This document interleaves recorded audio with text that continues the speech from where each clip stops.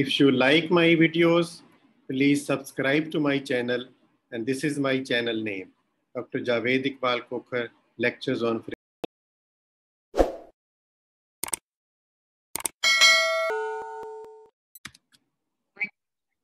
Hello, Assalamu alaikum. Bismillahirrahmanirrahim. Continuing with the lectures on the topic of autopsy, this is lecture number 23. And in these lecture, previous few lectures, I was discussing exhumation.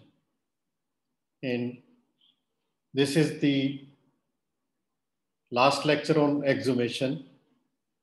And in this lecture, I will be discussing the collection and recoveries which are made during exhumation. That is the samples which are collected for further investigation or examination if they are required. So our learning objective in this lecture will be towards the collection and recoveries in exhumation. Previously, the collection and recoveries which were made and in some other part of the world, they are number one, the pieces of shroud are coffin. They are taken during the examination for toxicological analysis. And number two, about 500 grams of the earth, which is collected from above, below, and sides of the body. And one control specimen of the earth from the vicinity of the grave is also taken. And these specimens are for toxicological analysis. The organs and the viscera are collected if they are recognizable, stomach, intestine, liver, and spleen. And they are collected in separate bottles. If the visceras are not recognizable and only shapeless mass are present, then these are collected from respective places. And if even these shapeless masses are not available, then the homogeneous mixture of the cavities is collected. And they are labeled as they are collected.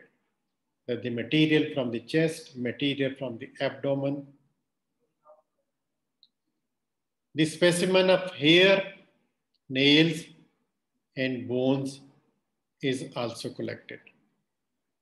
But no, the Punjab Forensic Science Agency has been established in Punjab province of Pakistan. And now they have issued a guideline for the routine sampling on the fresh body in poisoning cases and also for the exhumation. And this is the notification issued by Punjab Forensic Science Agency. And present guideline by PFSA in Punjab is in, in cases of autopsy on fresh bodies, in the routine suspected poisoning cases, no need to dispatch small intestine large intestine, kidney, or spleen. The required sample for routine poisoning cases are blood, urine, stomach without opening, liver, if blood is not available, or if the case is of opium or heroin suspicion of poisoning.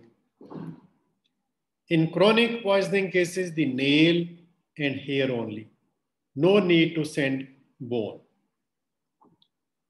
And similarly, for the guideline in exhumation, the pultaceous mass in the thoracoabdominal cavities, if any, that should be sent psoas muscle, nail, and hair.